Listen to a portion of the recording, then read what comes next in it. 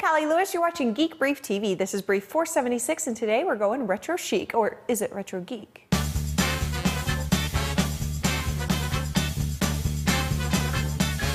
While CD sales fall, vinyl record albums are thriving. The RIAA says vinyl record sales are increasing 30% a year. I'm sure the whole Sleeveface fad is helping. Sleeve facing is the art of blending reality with album art, like in this example, using an album by Max Bygraves. Crosley makes a whole range of retro gadgets, and the one I like the most is the AV Room Portable USB turntable. Urban Outfitters has an exclusive edition in turquoise and tan vinyl, but you can also get it in black or brown. The turntable itself is belt driven and it plays 7 inch and 12 inch records at 33 and a third, 45 and 78 RPM. RPM. It has built-in stereo speakers and USB for digitizing your record collection. Crosley also makes a portable radio that looks like something Lolita would have owned. The Nomad portable speaker is designed to look like it's from the 1930s. It has an auxiliary input for an iPod, and the mono speaker has SRS resonance enhancement. The wood cabinet is wrapped in tweed vinyl, and the airplane dial tuner is electronically assisted to bring in AM and FM signals clearly. The Nomad portable speaker isn't my favorite retro-looking radio.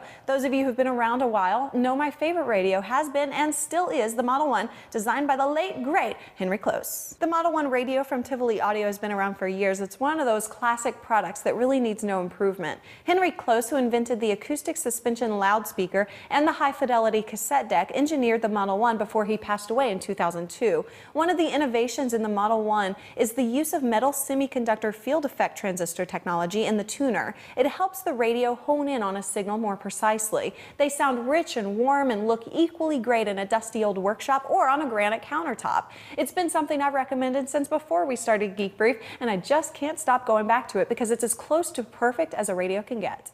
Remember the name of the book, but it was a story about a girl who was given a Rolleiflex twin lens reflex camera, and she grew up to become a famous photographer. Rollies are great for natural looking candid portraits because the photographer holds them low and the person being photographed tends to be less self-conscious. Rollei miniaturized and digitized their famous camera, and the result is a classic looking top view camera that shoots 5 megapixel photos stored on mini SD cards. There's a solid black version and a black and red version. Except for the Canon 5D Mark II, this is the camera I'd like most to have, but exactly like the 5D Mark II, it's back ordered at B&H one more, but I'm not sure this is something that ever had a place in anyone's past, but it looks retro enough. It's the Nostalgia Peanut Butter Maker, and it's simple. It has a hopper that holds two cups of dry nuts. You want oily nuts if you're gonna make butter out of them. You select the texture of your nut butter, and then the processed butter, chunky or smooth, flows into a container. Now, I've never tried this peanut butter maker, but I have a masticating juicer that also makes peanut butter, and I can tell you there isn't much better than a sandwich made with fresh salted cashew butter and honey.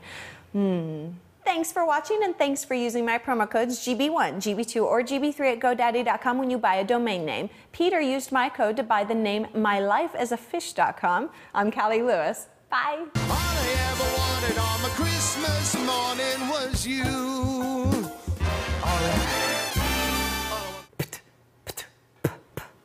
Has Jeff Smith teached us, taught us nothing? Jeff Smith teached me nothing.